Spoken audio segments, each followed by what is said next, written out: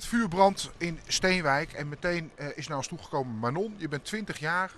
Je had een groot, groot eh, glimlach op je gezicht, want je hebt een heel mooi jaar gehad. Hè? Ja, dat klopt. Ja, naar eh familie weggezien in Amerika van Ja. zomer. Nou, naar New York geweest is eigenlijk helemaal goed dit jaar. Ja. En naar New York geweest, hoe was dat om in zo'n grote wereldstad rond te lopen? Ja, geweldig. Heel wat anders dan, eh, dan hier in Steenwijk of in Giethoorn. Het is echt Ja? wel een, eh, ja, echt gewoon een wereldstad. Het is echt super gaaf. En je zegt, ik heb familie wonen daar. Wie wonen daar? mijn moeder en eh, een paar broertjes wonen er nog. Nou, een beste vriendin zit daar ook. Dus eh Dus je moeder woont in Amerika en jij gaat er dan naartoe. Hoe lang had je je moeder niet gezien? eh, een jaar. Meestal ga, meestal ga ik één keer per jaar eh, ga ik heen. Dus of in de winter of in de zomer. Je zegt dat heel luchtig, maar je moeder een jaar niet zien. Ja, je hebt Skype, je hebt FaceTime, dus we praten gewoon iedere dag bijna. En, eh, dus ja, ach, het is wel lastig, maar ja, ik weet ook niet anders. Dus. En hoe komt het dat je moeder in Amerika woont en jij hier in Steenwijk?